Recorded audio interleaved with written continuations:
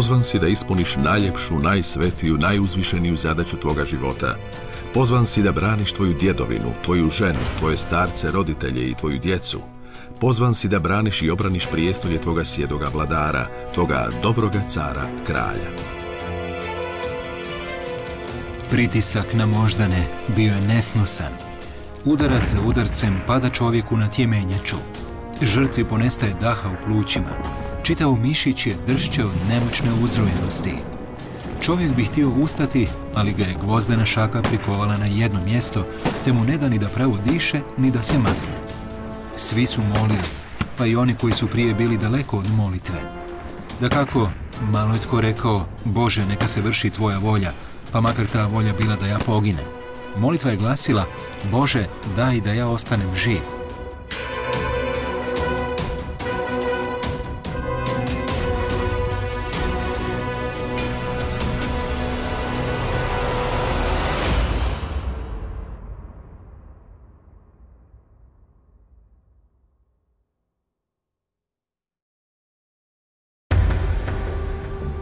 U 1916. godinu ušlo se sa za Austro-Ugarsku, a time i Hrvatsku, otvorene dvije fronte. Jedna je bila prema Italiji, a druga prema Rusiji. I iako se činilo da je Srbija izbačena iz rata, ulaskom Italije u rat kod srpske vlade u izbjeglištvu okupljaju se hrvatski političari, predstavnici nekadašnje politike novog kursa.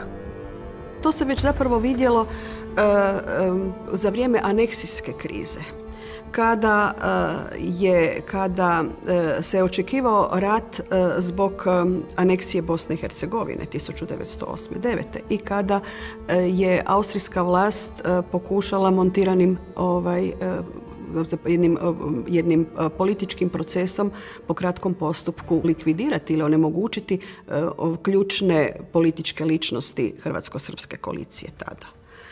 E, to je razotkrio e, Fridjungov proces koji se ovaj, nakon toga e, pokrenuo.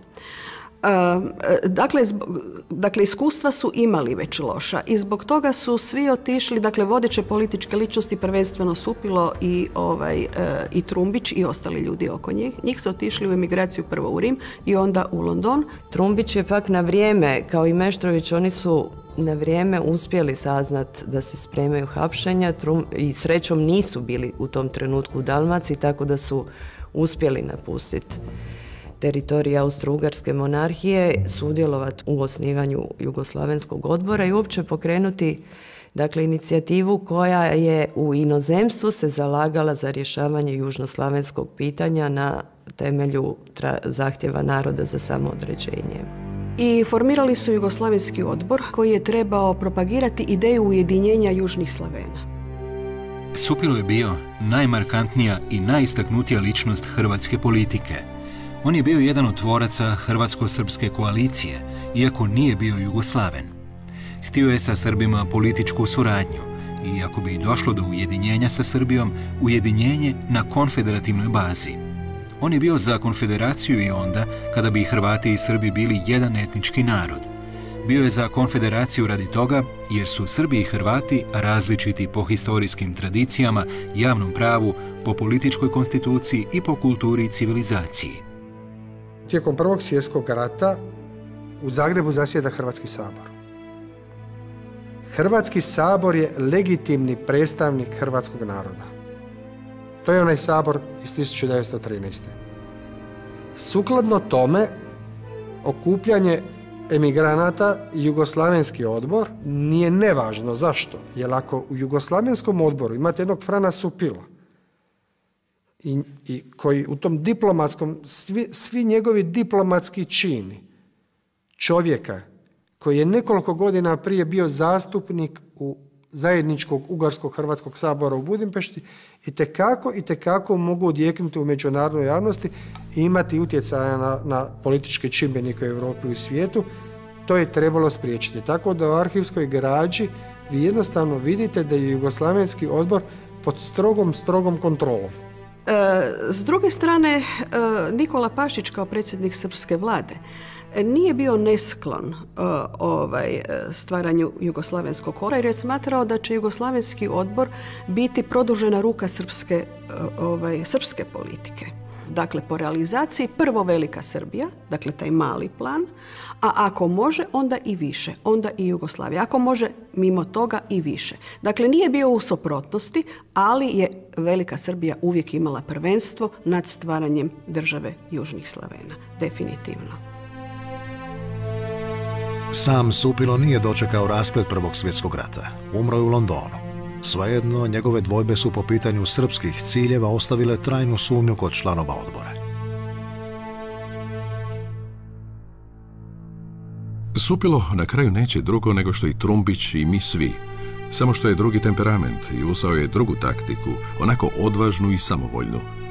Ono što Trumbić misli da ima vremena da se uredi, a za prvi mah da bi trebalo da svi dođemo pod isti krov. Supilo misli da bi trebalo da se to unaprijed raščisti, da bi se tako sigurnije postigla zajednica. Dodatna otegotna okolnost za članove Jugoslavenskog odbora bio je izbjeglički život u metropolama Europe. Živjeli su vrlo skromno. Ovaj, e, upravo Srbija je financirala Jugoslavenski odbor, ali ne sve članove Jugoslavenskog odbora. Neki su bili vrlo asketski živjeli upravo da ne dođu supilo, na primjer ovaj, da ne dođu u financijsku zavisnost. E, tako da je Jugoslavenski odbor e, kroz rat se sve više udaljavao od e, srpske vlade. No u tom trenutku hrvatski političari u inozemstvu, okupljeni u Jugoslavenski odbor, nisu imali gotovo nikakav utjecaj na zbivanja u domovini. I dalje, kao i uvijek, Sabor je bio vrhovno političko tijelo Hrvatske. Kada Italija ulazi u rat na strane Antante,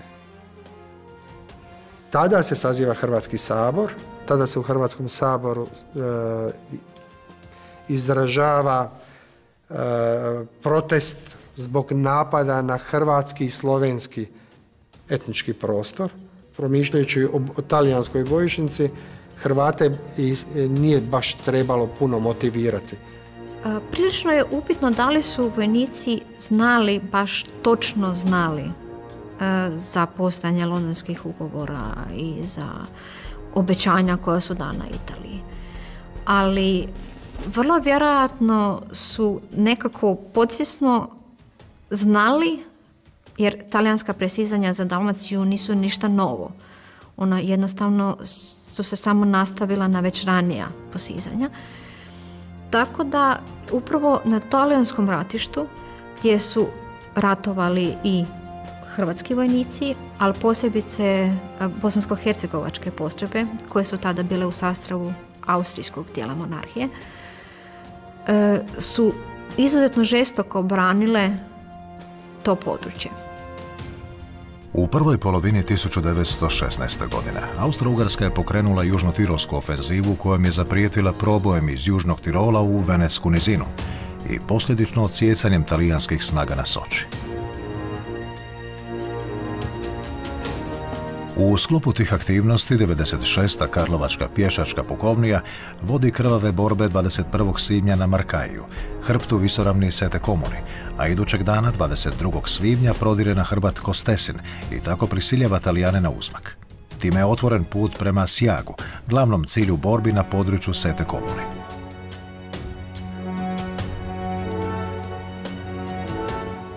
Treba napomenuti da se 7. lipnja u ovim borbama istaknula i druga BH pukovnija iz Banja Luke prilikom zauzeća vrhunca Monte Melete kod Asijaga koji je osvojen uz velike žrtve. U šestoj sočanskoj ofenzivi Italijani zauzimaju Goricu. Ispod druma kojim marširamo vide se goričke izbjeglice po ledini.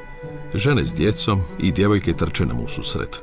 Penju se uz put i dočekuju nas klećeći na koljenima i s krikom na usnama. Bosanci, vratite nam našu goricu. Bosanci dolaze. Bosanci će nam vratiti dom. Ovo nam razdire dušu. Ulazimo u borbe sedme, osme i devete sočanske bitke, koje se nižu jedna za drugom. Jedini problem u Dalmaciji, Istri i i dijelu slovenskih zemalja upravo su talijanske pretenzije i one će uvjetovati barem na talijanskom ratištu e, borbu za nacionalni interes. Jedino ona tu na neki način došla do izražaja. Hrvati se međutim nisu borili samo u Italiji. Istočni front je možda po broju sudionika najvažniji za Hrvate zbog toga jer je najveći broj vojnika, osobito iz ove e, središnje Hrvatske, znači Slavonija, e, Hrvatska, e, u onim granicama Trojedne kraljevine, sudjelovao u borbama na tom frontu. Na pravoslavni su uskrs Rusi obustavili vatru, a i mi. Prije podne izašla su petorica Rusa s bijelom zastavom iz rova i prešli su k nama. Ljubezno smo ih primili jer su nam došli čestitati uskrs, a donijeli su nam uskršnje darove, mliječni kruh, kolač, sir i vodku i umolili nas da im uzvratimo posjeti da dođemo u što većem broju. Poslije podne otišli su naši vojnici od svake kompanije petorica s dozvolom starješina sa nekojim mlađim oficirima k Rusima. Tamo su sjedili, pjevali, pili i plesali uz balalajku i vodku.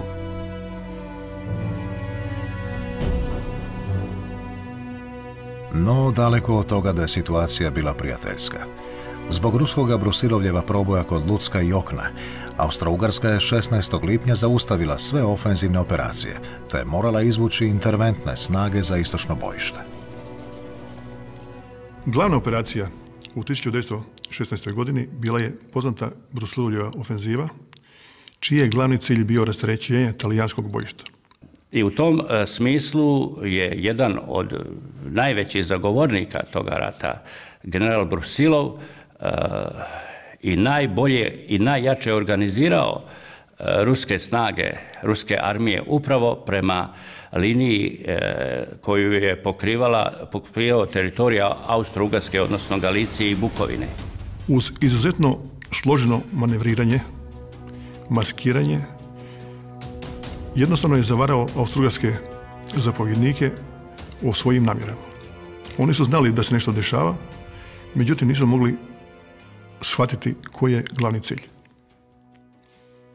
Brusilov je odlučio da austrugarske snage napadne na dva pravca. Jedan je pravac kod grada Lucka i udarom na osmu austrugarsku armiju uspio je u vrlo kratkom roku sa relativno malim snagama stvoriti pomutnju, što je jednostavno primoralo Austrijance da se povuku cirka 70 km po dubini svoga prostora. Brusilov je planirao da glavni udar nanese njegova osma armija smjerom Olika Luck i to napadom na položaje četvrte kauntka armije. U njezinu je sastavu 79. pukovnja iz Otočca, koja će u ovim borbama biti doslovce izbačena iz stroja, pretrpjevši ukupne gubitke od 4160 ljudi. Pomoćni napad kod Okne na jugu bojišnice bio usmjeren na položaje 7. kauntka armije, u čijem je sastavu većina hrvatskih pukovnija iz 36. pješačke i 42. domobranske divizije. Tu će se zateći 16. Bjelovarska, veći dio 53. Zagrebačke, 78. Osječka pješačka pukovnija i cijelokupno domobranstvo. Treba napomenuti da je 42. domobranska, poznatija kao vražija divizija, iskazala veliku hrabrost i požrtvovnost ovim borbama. Hrvatske postrojbe su dobile dionicu osiguranja e, područja e, onog dijela istočne Galicije koji se sjevernim dijelom naslanja na Bukovinu i cijelu Bukovinu. I zato i jeste e, vrlo interesantno u globalnom smislu u analizi Prvog svjetskog rata promatrati funkcioniranje osposobljenosti i sposobnosti hrvatskih postrojbi u okviru 13. korpusa i, e, i zajedno sa drugim korpusima e, drugih vojski Austro-Ugarske, drugih naroda, koju je ulogu imala tu doktrina hrvatskih vojnih eksperata, odnosno stožera Hrvatske vojske u okviru 13. korpusa. Sa divljenjem prema hrabrom neprijatelju gledali smo Ruse u kakvom su uzornom redu nastupali, ali nas je ipak zabrinula masa koja se kretala prema nama. U živoj smo slici gledali toliko puta spominjani ruski valjak, koji nas je trebao zgnječiti. Ne znam kome sam se više divio, da li svojim sjajnim bosancima, da li uzornom i hrabrom napadu Rusa. Grozna borba vodila se u šančevima sve po noći. Ne poznaš ko je Rus ako tvoj, samo prvoga do sebe kolji, jer nećeš li ti njega, on će sigurno tebe.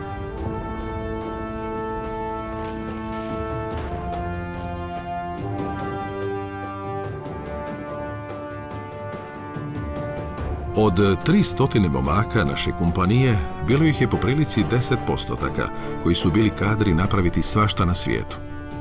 Nije dobro prošao ni jedan neprijateljski vojnika, ni domaći građanin koji se na ratnom području s njima sastao. Od prijašnjih borbi ležalo je pred našim rovovima toliko lešina da se uslijed sparine mjeseca kolovoza širio nepodnošljivo zagušljiv smrad, pa su nam vojnici očajavali. Mnogi su se i onesvijestili i morali smo ih preko dana prebaciti u drugu liniju. Zadah se širio na sve strane, a u pravcu vjetra osjetio se na kilometre daleko.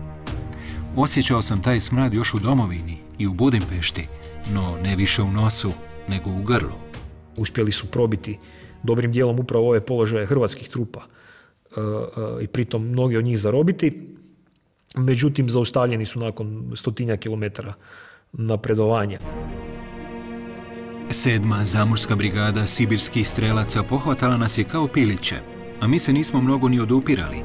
Naše su uši bučale, kao da smo svaki primili bar po 50 šamara.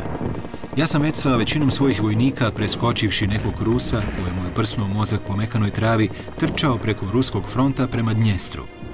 U našoj pozadini bio lom i sve je izgubilo glavu. U brzom begu spazih stoženog narednika Debelju kako zdvojno trga sa prsiju pet austrijskih ordena i trpa ih u džep.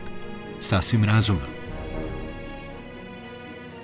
Naš je bataljon dobio nalog da napadne ruske položaje na suprotnoj uzvisini. Pištoljem je komandant dao znak za napad. Naprijed. I mi smo jurnuli. Do naših žičanih zapreka, jer dalje nismo mogli.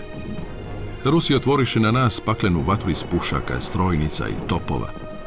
Dok su mrtvi oko nas padali, pobjego smo ranjeni i svi drugi natrag u naš položaj. Na ponovljenu zapovjed da moramo naprijed, nešto vojnika skočilo iz jarka, ali začas i ovi dotrčaše natrag. Čutne li glave u kojoj se porodila misao za napad i to u po bijela dana i s bodljikavom žicom deset koraka ispred nas. Danas je glava slala kao jajce u klaonicu. Austrijski i mađarski povjesničari su Brusilovljev uspjeh 1916. tumačili lošom borbenom spremom slavenskih, kako su oni govorili, postrojba. Međutim, ako se pogleda statistika, Flancer Baltinova vojska, dakle u kojoj su većinu, dobar dio jel činili Hrvati i Srbi, imala je razmjerno najmanji postotak zarobljenih e, vojnika, dakle tijekom te Brusilovljeve ofenzive. Bez obzira na strašno velike gubitke koje će podnijeti Hrvatska vojska na, tijekom tri godišnjeg ratovanja na Istočnom frontu, e, moje uvjerenje e, da je Hrvatska vojska strateški u vrhu izvršenja zadatka, kako se to vojno kaže, u strateškom smislu, Brusilovljeva ofenziva uspješno je rasteretila talijansko bojište, iako je na samoj ruskoj fronti to bio samo privremeni uspjeh. Važno je napomenuti da su sa Soče došle 48.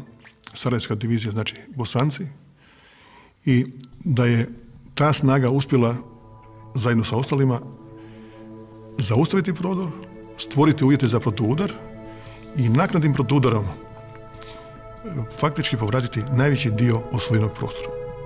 Pasti u zarobljeništvo, predati se, e, nosilo je e, veliki rizik, e, u stvari za obje strane, jer razmjerno malo predaja se događalo uz nekakvo pregovaranje. Unaprijed, uglavnom se radilo o trenutku, jel kada je napadač ili onaj koji se brani treba odlučiti hoće li je li ta ponuda na predaju iskrena ili e, neprijatelja treba ipak za svaki slučaj ubiti jel, u, nastavku, u nastavku borbe. Nisu svi zarobljenici e, automatski slani u Sibir, ne? nego su mnogi ostali u ovom europskom dijelu Rusije, ali da budu dovoljno daleko od fronta da ne mogu pomišljati na nekakav bijeg, otpor ili tome slično. Ipak treba reći da su, e, što se tiče pada u rusko zarobljeništvo, hrvatski ratni zarobljenici ipak bili povoljnije tretirani, znači u sastavu jedne slavenske skupine. Ruski narod, ruski seljak u većini je svojoj tako dobar da mu nema premca. I moja bi se majka bez dvojbe u Vinkovcima približila ranjenom Rusu, darovala bi ga, a uz to plakala, jer bi njezinom sinu može to isto dogoditi.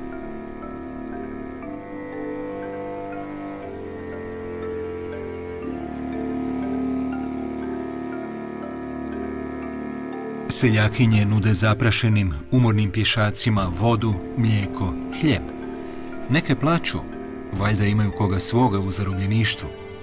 Odbijaju novac, darivaju sve Hrista radi. Netko se u koloni lecnu primiti milostinju, buni se protiv toga odgoj, nesvjesno stvarnosti položaja, ponajviše nacijepljen pojam oficirske časti. Kasnije će glad i žeđa razbiti oklope gordosti, a prvo noćenje pod vedrim nebom u krdu na travi amalgamirat će šarže i temperamente, pretvoriti konačno u ljude u koloni. Kolona je velika škola ljudskosti. Među tim zarobljenicima e, jača propaganda e, ne samo Jugoslavenskog odbora, nego i Srbije. Naime, oni hoće e, oformiti Jugoslavensku legiju.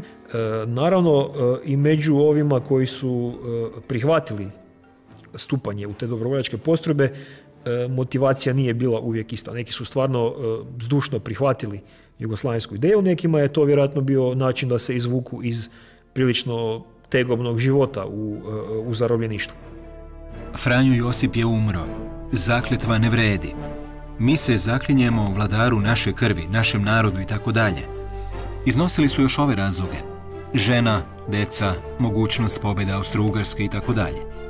Nekoji su bili posve iskreni, izjavivši da su bili sretni što su sačuvali glavu, pa nemaju ni najmanje više volje da idu opet na front.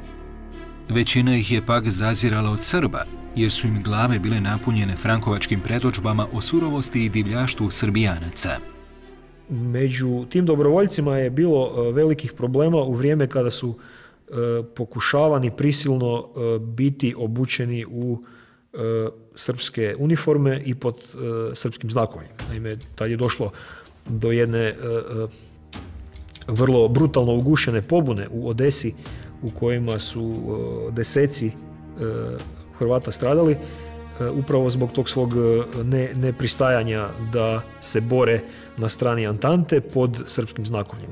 Austrougarske snage tijekom tri mjeseca ratovanja izgubili su preko 600 tisuća vojnika i ogromne količine naoružanja, prvenstveno topništva. Tako da se može smatrati da je ova operacija s Tubokom e, promijenila stanje u odnosa snaga na istoku.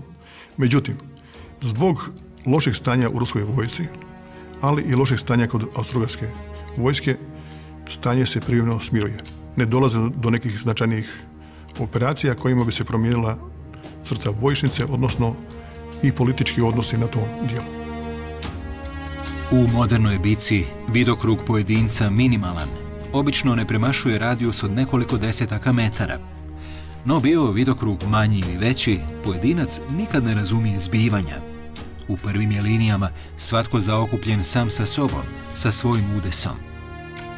Tu tek čovjek, ukoliko ima majtanak sloj istinske kulture, počinje osjećati vrijednost čovjeka, života i suludost rata. Vojnici su odlazili uz parolu za kralja i domovinu. E, pritom je bitno istaknuti da apsolutno i suveren je bio Franjo Josip I. E, tu je on imao neprikoslovenu ulogu što se tiče podanika monarhije, on oduvijek bio kralj. Za Hrvatsku kralj, za austrijski dio car. Franjo Josip je bio ovaj, e, vladar koji je vrlo dugo vladao. I zbog toga što je tako dugo vladao, jednostavno država se identificirala sa njim. Ljudi su ga smatrali doslovce ne ocem, nego djedom domovine i smatralo se da on zapravo e, nije krivac za rat i Austrougarska, nego da su poslužili kao oružje e, samoj Njemačkoj koje je bilo u interesu da uđe u rat. je stari car preminuo 21. studenog 1916.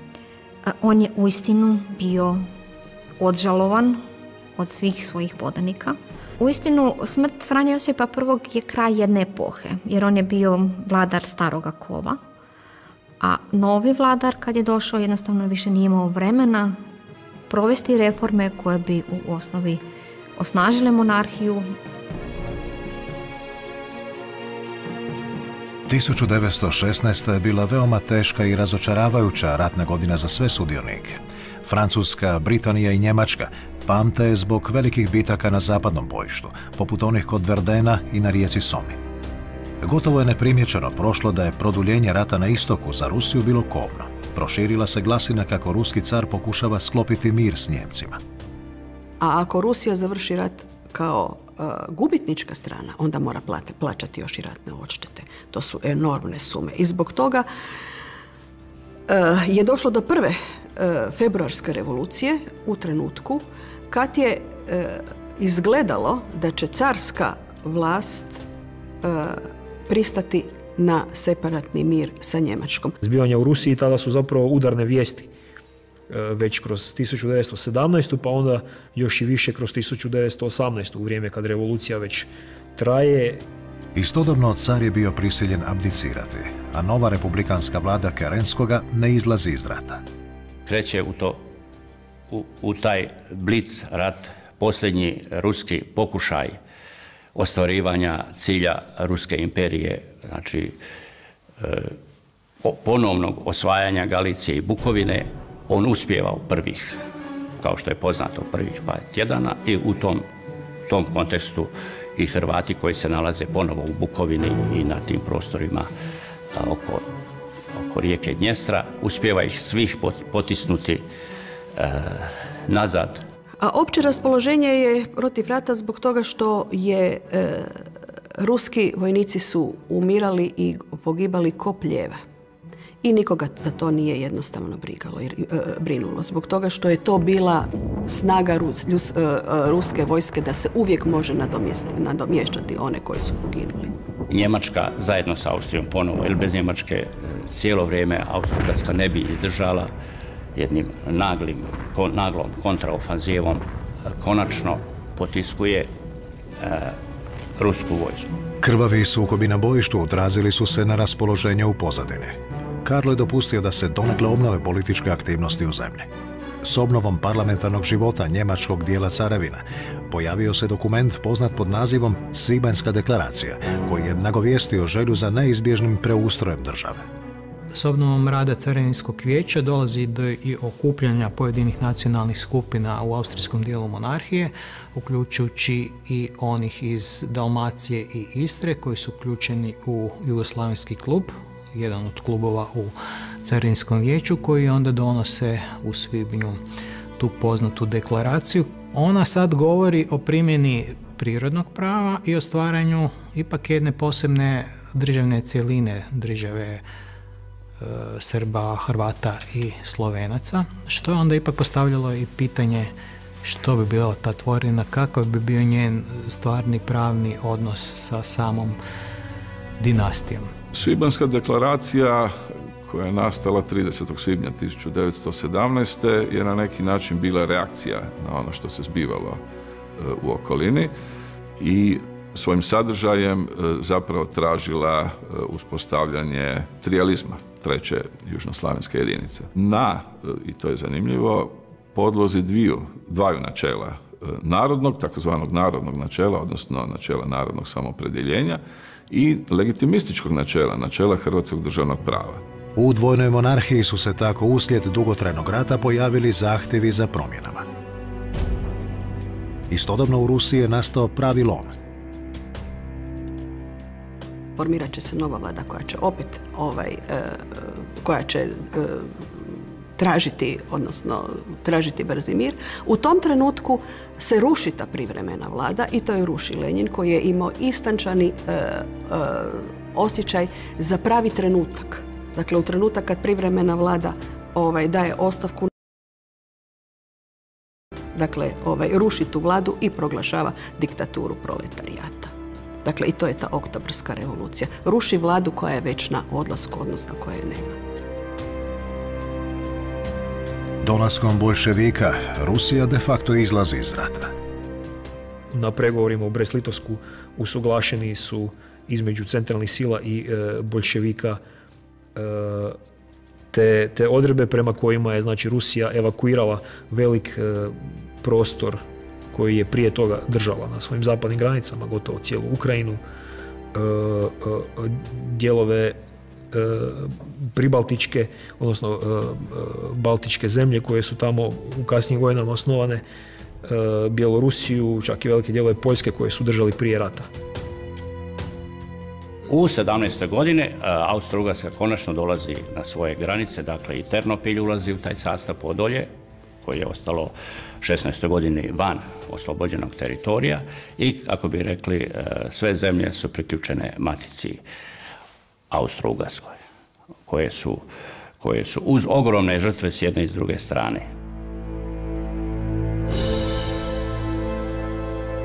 Jesam li se htio boriti u svjetskom ratu?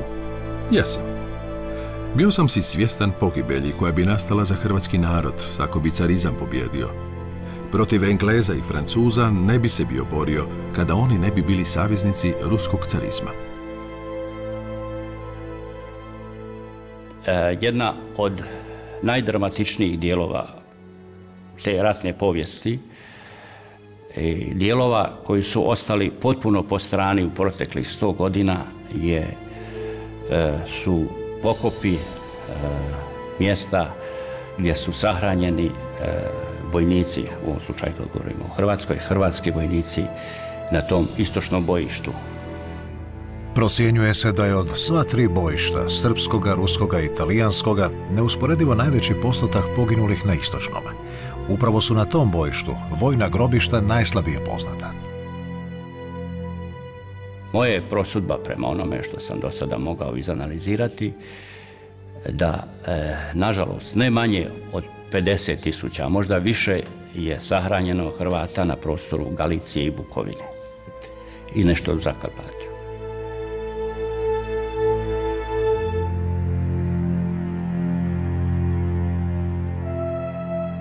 Prema onim autobiografima koji su iskusili oba, oba bojišta, lakše je bilo na ruskom, na ruskom bojištu. E, bilo je manje, bilo je manje borbi, učinak artiljerije, bilo je manje artiljerije, e, topništva, bila je meka zemlja, e, njegov učinak je bio slabiji, uglavnom su i klimatski uvjeti bili nešto povoljniji.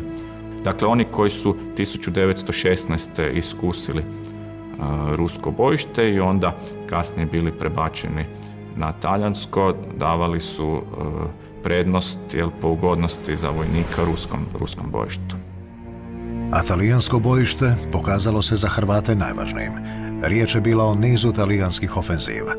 U početku je postojala u Austro-Ugarskoj e, e, ideja da je nebranjiva ta granica, da će Italijani zbog svoje premoći, jer su svježiji, jer su i brojniji, gotovo duplo jači e, brojčano nego austro-ugarska vojska u tom e, kraju, e, da će bolje biti evakuirati sve te ugrožene krajeve i napraviti neku stabilniju obrabenu crtu daleko na zapadu, gotovo do Ljubljane. Tu se istaknuo po prvi puta i Borojević koji je odbacio takve planove i koji je odlučio boriti se, odnosno braniti gotovo na samoj granici, što je onda uvjetovalo e, te teške borbe koje su vođene sve do gotovo kraja 1917. na Soči. Na samoj rijeci Soči su hrvatske postrojbe bile glavni nositelj obrane. Bez obzira na žrtve koje su pretrpjele, one su tu bojišnicu obranile. Ovdje će se boriti 15. Sarajevski, 16. Dalmatinski korpus, dakle Dalmatinci, Bosanci i Hercegovci, ali i Karlovčani iz 96. i Ličani iz 79. pješačke pukovnije.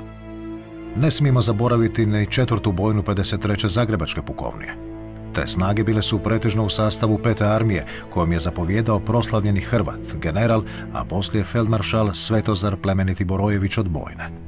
Te su e, borbe bile prilično teške, ne samo zbog terena, nego isto tako i zbog tvrdoglavosti talijanskih e, zapovjednika koji su dosta često i dosta bezglavo zapravo slali svoju, svoju vojsku u napade, gotovo u nekakvim periodičkim razmacima, da svakih nekoliko mjeseci ili čak svakih nekoliko tjedana. Pritom su imali vrlo velike gubitke.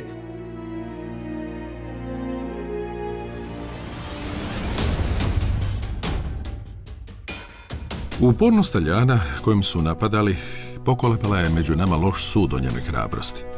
Najmanji uspjeh za njih je dovoljan da im povrati moral i da sami sebe proglase za najspremnije zavojevače i najbolje ratnike. U takvim se slučajevima ogorčeni juriši nižu jedan za drugim. Na gomile palih boraca dolaze drugi, svježi, zadojeni vatrenim govorima pred borbu. Kao po nekom pravilu, u ovakve borbe bacali su uvijek bosanske satnije, ako ih nije bilo u blizini, one su dovlačene svim mogućim transportnim sredstvima da svojom inad borbom ohlade oduševljenog napadača.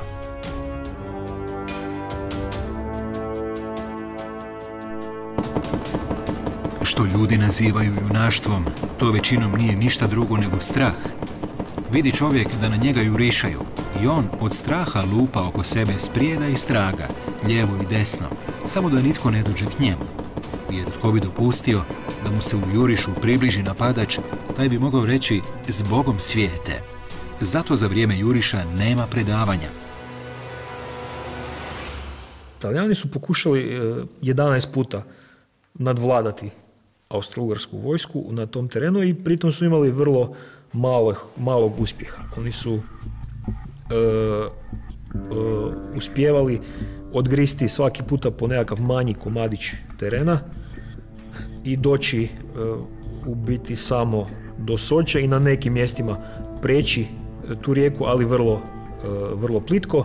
I Buroviću treba stvarno skinuti kapu, jer je on bio u odnosu na Makenzena koji je bio vrhunski stručnjak za napadne operacije, on je bio vrlo važna osoba za obrambene operacije. To će njegovo iskustvo posebno doći na obrani na rijeci Soči, gdje će u 11 bitaka zaustaviti Talijane. Uspio je to jednom fenomenalnom taktikom sa manjim snagama parirati naletima ešalona, valova pješaštva talijanskim snagama. I zato je bio jedan od rijetkih ovaj, hrvatskih generala koji je postigao najveća priznanja u Austro-Ugrskoj. E, psihološki najteži oblik borbe e, nije bio toliko nekakav izravna borba, juriš, borba prsa u prsa, već e, biti pasivan i negdje u nekom zakloništu, dubljem ili plitkom rovu, kaverni, trpiti granatiranje teškim topovima koje je često znalo trajati i najviše dana. Dakle, borcima je najteže e, bilo bez mogućnosti da se odupru, jedino čekajući i pušeći cigarete dok imaju duhana, e, izdržati e, granatiranje. Ljudi su živo raspravljali. Na licu im se zrcalila posebna uzbuđenost, u kojoj bijaše gotovo više radosti i udivljenja nego straha. Stariji borci koji su sudjelovali u više bitaka bijahu na oko mirni i samo bi kada progovorili po koju jetku riječ. Oni pak, koji se nađoše po prvi put u ovakvom brzinom kolu, trzali su se pri svakom jačem hicu koji bi pao na ulaz. Kad je vani tutanj postajao žešći, bivalo i pušenje u kaverni strastvenije. Kada je ušao ranjeni štakor, ljudi su gledali u njegovu krvavu njušku, krvave noge i krvav ostatak repa i nitko ga nije dirao. Stravična ukočenost vladala je u kaverni. Dobio sam i poštu koja je već toliko dana izostala. Sada su nam dali sve na jedan put. Od kuće su mi javljali da je otac umra. Neka mi moj dobri otac oprosti što sam s lakoćom prešao preko toga, pošto sam i ja te noći bio kandidat smrti. Spoljni događaji nisu više uticali na moja otupljela osjećanja. Nakon svih ovih krvih 11 bitaka i osvajanja Svete Gore i Kuka, Austrugarska je vojska došla u jedan dosta nezavidan položaj. Smatrali su da je na tom području više nemoguće organizirati obranu i da bi vjerojatno došlo do proboja talijanskih snaga. On je promatrao s užasom kako su se između paklenoga trokuta i italijanskoga postava i ujedno po samom paklenom trokutu, jedno 100 do 150 koraka daleko od njega, između mrtvaca poput pogaženih crva previjali ostavljeni italijanski ranjenici. Neki su vapili glasno, ajuto, ajuto, pomoć, pomoć. Ali im pomoći nije bilo, jer je na svakoga tko bi se usudio poći njima vrebalo mnoštvo smrtonosnih cijevi s jedne i s druge strane. Do preokreta je došlo e, u jesen 1917. godine kada je e, na tom bojištu e, kao ispomoć poslano nekoliko njemačkih divizija koje su prije toga i same sudjelovale u borbama na drugim frontovima. Oni su prebačeni u jesen 1917. Znači u vrijeme kad je već bilo jasno da će na istoku centralne sile prevladati, pobijediti i tamo su primijenili na Soči jednu za ovo područje novu taktiku. Naime, nisu više izravno jurišali ne mareći za gubitke, nego su jednostavno zaobilazili ove najčvršće protivničke položaje, opkoljavali ih i na taj način ulazili u pozadinu i onda čekali pomoć glavnine, glavnine snaga. Zahvaljujući tome uspjeli su u nekoliko dana probiti talijanske položaje. Kod 12. sočanske bitke koja je dovela do konačnog odbijanja Talijana sa rijeke Soče i izbijanja rijeku Pijave, tu su se iskazale naše hrvatske postrojbe na sjevernom dijelu bojišnice, to je kod Tolmina, osobito naše bosansko-hercegovačke pukovnije, 53. Zaribačka, dijelovi dalmatinskih snaga i one su u fantastičnim operacijama uspjele forsirati jedan izuzetno složen teren, to je brdsko-planinsko područje i presjeći Italijane i izbiti na rijeku Tilment, preći je, organizirati mostobrane i izbiti na rijeku Pjave. Bilo je već kasno kada je naša mala skupina ušla u selo. Stanovnici su uzrojano trčali ulicama i stajali pred kućama čekajući neprijatelja. Sada sam tek primijetio da su nas u zabludi zbog tame držali za zaostale italijanske vojnike. Ne bojte se, mi smo Austrijaki, odgovorim što sam mogao pitomije. Santa Maria, čuli su se zaplašeni poklici. Neki se počeše na glas krstiti i Bogu moliti. Čuo se prigušen plač. Znao sam da svaka vojska, makako dobra bila, nosi zlo i pokoru u selo u koje navrati, pa pokušam ih umiriti. Pa niste valjda vi bosanci? Na to se svi razbježali. U jednoj e, velikoj operaciji ne samo da su preokrenuti oni e, uspjesi koje je talijanska vojska ostvarila u prethodnih 11 ofenziva, nego je toliko uzdrmana Italija da je gotovo izbačena iz rata i onda su morale zapadne saveznice, Velika Britanija, Francuska slati svoje trupe da bi stabilizirale tu bojišnicu, da bi ih zadržali u ratu. Po planinskim stazama susretali smo neprestano grupe razbijenih postrojbi. Svi su bili pijani i prilazili su nam pjevajući pjesme u kojima su izvrgavali ruglu svoje vojne starješine, a nama dovikivali Idite do Rima, nema vas više tko zaustaviti. Rasulo italijanske vojske pružilo je tako bijednu sliku da nam se zgadilo i nismo mogli vjerovati ono što gledamo. 1917. godine moglo izgledati kao da centralne sile napokon mogu riješiti rat. Ipak, zamor zaračenih strana nije nudio optimizam nikomu. Ulazak Sjedinjenih američkih država u rat, iako te godine samo simboličan, sve je promijenio.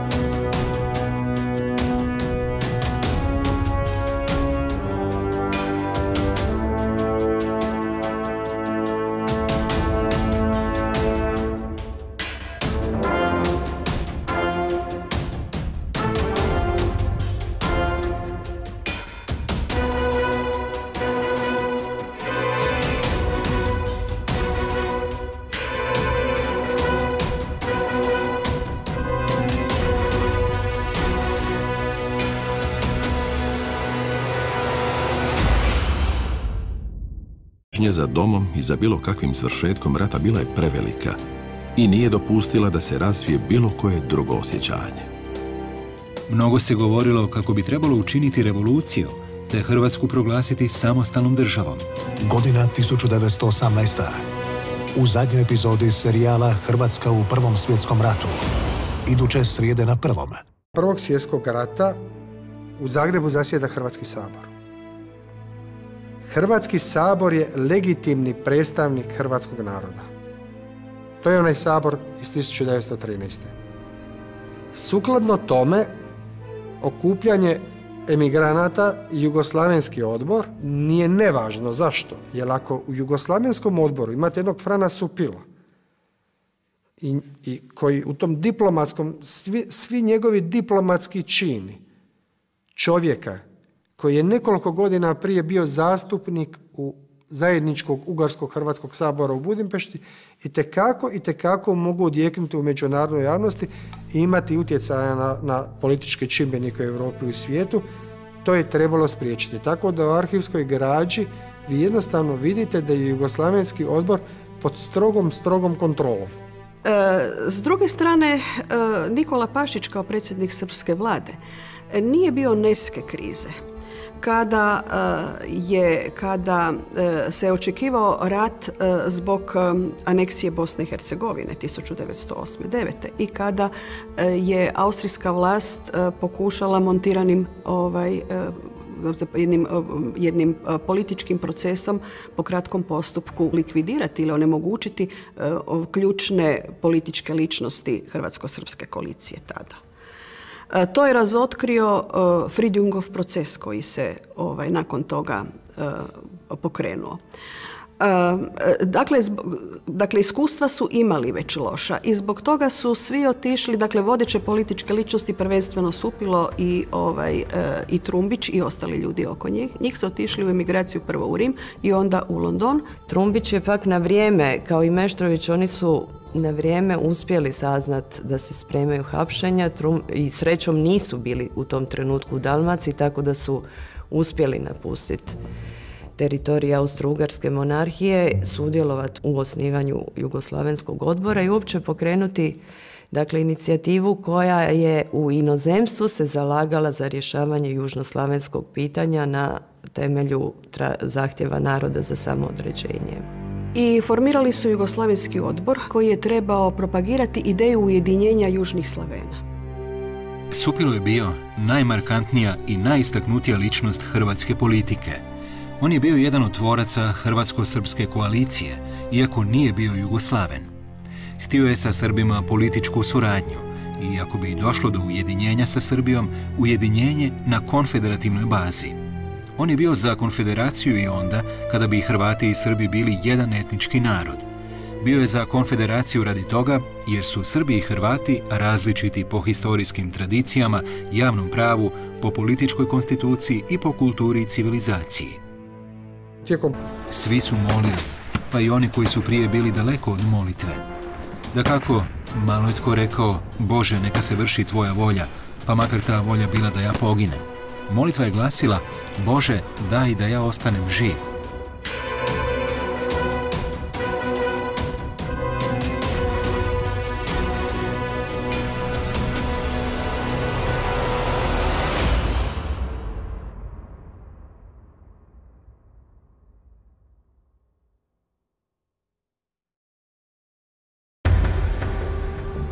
U 1916. godinu ušlo se sa za Austro-Ugarsku, a time i Hrvatsku, otvorene dvije fronte.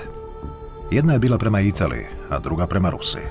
I iako se činilo da je Srbija izbačena iz rata, ulaskom Italije u rat kod srpske vlade u izbjeglištvu okupljaju se hrvatski političari, predstavnici nekadašnje politike novoga kursa. To se već zapravo vidjelo e, za vrijeme aneksije